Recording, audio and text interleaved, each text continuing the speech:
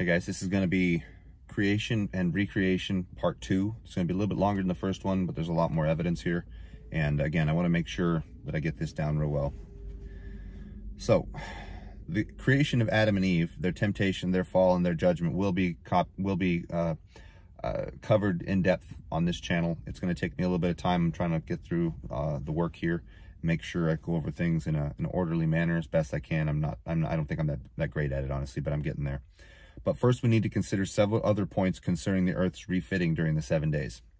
A. The presence of the heavens and the earth in place at Genesis 1 3 shows this is a recreation. So uh, it wasn't just out of nothing where they, they he started jumbling this together in a seven day period. But let me get into this. As God begins to work on the earth in Genesis 1 3, earth, as the heavens in which it exists, is already in place, an impossibility unless this is a recreation. B. The presence of angels during the seven days shows this is a recreation. The angels are present too, shouting for joy at the reconstruction of the earth, also necessary having been created at some earlier time, before the Genesis gap, an impossibility, again, unless this is a recreation. And that's from Job 38, 4 through 7. C. God's pronounce, pronouncement of his acts as good shows this is a recreation. God, being God, creates only what is good in the first place, bringing light out of darkness, dry land out of only sea, life out of lifelessness, are all acts of bringing something good out of something not good. In other words, darkness, sea, lifelessness. Those are three things, by the way, that are repeatedly mentioned in the Bible as not being good. The Tehom, the deep, is actually the home of the grave, the home of uh, Abraham's bosom. Well, formerly Abraham's bosom. That place is empty now. But the abyss, the the the Tartarus, the place where uh, all the angels are being kept, it's it's in the ocean. It's not a good thing. And, and no former civilization before our modern day civilizations uh, ever ever uh, romanticized the ocean. They were always seeing it as something unknown and dangerous and deep and deadly. The pronouncement of the pronouncement and God saw it was good is a stamp of divine approval on the restoration of what had been originally good and now was restored to its good condition following an interval of judgment upon evil. Genesis 1 4, also uh, 10, 12, 18, 21, 25, and 31. D. God's construction of the firmament argues as, that this is a recreation. In Genesis 1 6 through 8, God constructs the firmament, firmament which separates the waters below from the waters above, rather, from the waters below, and calls this firmament heavens.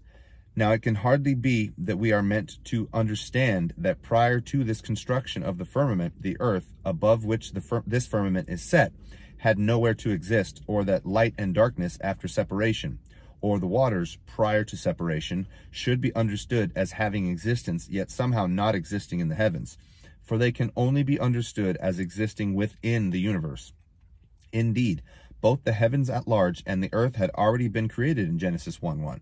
This interpretation is strengthened by both the fact that rather than creating the firmament from nothing, the language of Genesis 1 7 specifies that God made it from something.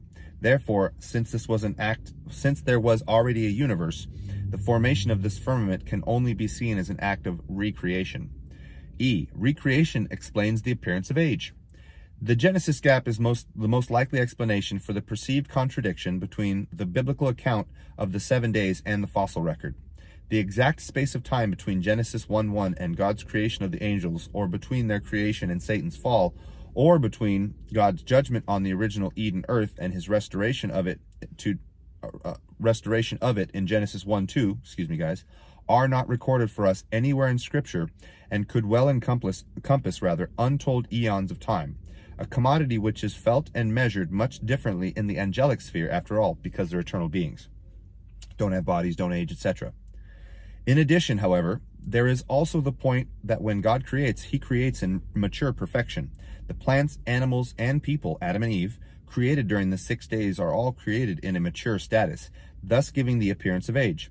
It is no great stretch to see the restored heavenly lights and reconstructed earth benefiting as well from a similar complete creation that might well give every impression of a lengthy geological history that does not in fact compromise, I'm sorry, comprise real time in our limited understanding of it. Here's Hebrews 11, 3. By faith we understand that the ages have been constructed by the word of God, so that what we see, in other words, the material world, has not come into being from things we now see. So we can't just assume everything just slowly grew into itself like they like to say stars are and so on or that the, anyway, I'm going to keep going. 2 Peter 3, 5 through 7. But it escapes their notice in asserting this, namely that there were heavens long ago too, and an earth which was re-established from, from out from under water, in other words, the waters below, and through the midst of the water, in other words, the waters above, by the word of God. And that it was through these two sets of waters that the world of that time, i.e., in Noah's day, was again deluged by water from above and below and destroyed. Now this present heavens and earth have been reserved for, the, for, for fire by that same, reserved for fire by that same word of God, preserved for the day of judgment and the destruction of godless men. F. Recreation is analogous to other divine restorations. Adam's fall resulted, resulted in a curse on the earth that is analogous to, though not nearly so devastating as, the Genesis gap judgment, Genesis 3, 17 through 19. Nevertheless, all creation now groans in anticipation of the removal of the curse, a blessing to come at the return of Christ, which also parallels the restoration of the earth in Genesis 1, 2. See Romans 8, 19 through 22. The earth, everything groans for the, the the restoration from the Lord's return. Those are awesome verses. A few of the many other such instances of the pattern of divine judgment followed by gracious, restora gracious restoration include 1. The renewal of the earth after the flood, Genesis 8 through 9. 2. Joseph's deliverance from prison and restoration to his family, Genesis 45.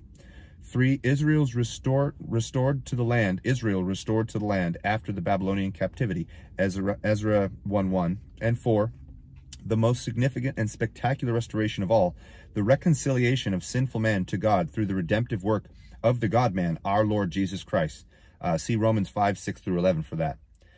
Suffice it to say that our God is a gracious God who may hold judgment in the one hand, but always has merciful restoration in the other for all who will repent and turn to him. The restoration of the devastated earth was a clear sign to Satan and his followers that their slanderous insinuations that God would be unwilling or unable to provide for reconciliation were about to be undeniably refuted. G. Recreation is focused on man as a replacement for Satan and his angels.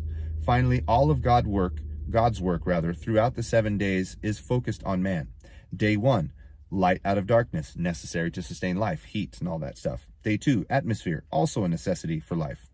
Day three, dry land, an essential for any animal life and for man. Vegetation as a source of food, materials, pleasure, etc. Day four, lights serve as signs for the ordering rather of human life in necessary increments of time. Uh, the, the whole structuring of time and the way that, that things are perceived to us. Day five, all the cosmos. Day five, other creatures enriching human life, uh, companionship, food, clothing, etc. Day six, land and animals and livestock to support and bless the human human life, finally man. So uh, even greater blessing for these larger animals and capacity. And then, of course, man is created at the end of day six. And then day seven, God's Sabbath rest designed for man's blessing and benefit. That would also be analogous to the thousand year reign of Christ, if in fact there are 7,000 years of man. See my video on 7,000 years of man. It really is an awesome thing, and this is very much pointing towards it. Notice in Genesis 1, 26 through 30, the creation of man is the culmination of God's work. The process begins with the divine conference of the Trinity announcing God's decision, let us make man in our image according to our pattern, verse 26. Man is then created in the image of God, verse 27, free will, blessed and given rule over all the creatures of the earth, verse 28, and provided with food, verse 29, as are other creatures, in verse 30. The creation of man, along with the environment to support our lives in these physical bodies, is clearly the purpose and goal of the seven days of God's restorative work in the world. Only after the earth had been restored to viable conditions, man created upon it and placed in charge of it, does God conclude that all he has made is very good. Verse 31, the Hebrew word me'od, being added only here to God's evaluations of his various acts during the seven days as good, so it's very good. Me'od. Even the pattern of the seven days is one that suits and reflects the subsequent history of mankind, with each day standing for one millennium, see my video on the thousand years of man, of human history, with the seventh day signifying the millennial rule of Christ. And this principle is explained in that video, and I will actually get into a little bit deeper because these are awesome, awesome things the Bible is pointing to, even if not directly, although I consider this pretty direct. Man also argues for Genesis 1 2 being a process of recreation for man specifically through the God man, Jesus Christ, is meant in no small part as a replacement for Satan and his fallen angels, the greater morning star, for, per Peter. All right, guys, uh, this is awesome to me. This, this, when I first read this, blew my mind. I was always into dinosaurs growing up, and I'm like, eh, this doesn't really make sense because you'd think that we would have some proof, some drawing, some something, because humans tend to mark down crazy large things like sphinxes and pyramids and ziggurats and so on. So anyway, I'm going to leave this right here. Chew on this, guys. This is awesome information. Um, and I think I think every believer can benefit from it. And we can also see that a lot of the churches today don't bother digging too hard into the Bible, and they teach things that overlook so much awesomeness that this is pointing to. Let me know what you think in the comments. Like, share, subscribe, hit the bell, because you may or may not be getting the heads up for these videos. Um, I have YouTube Premium, so I always get the heads up. They tend to make sure the people that pay get them, but if you don't, you're not likely to see these. So talk to you guys soon. I hope you're enjoying this. I'm going to keep going with this because this is awesome stuff. We need to know it.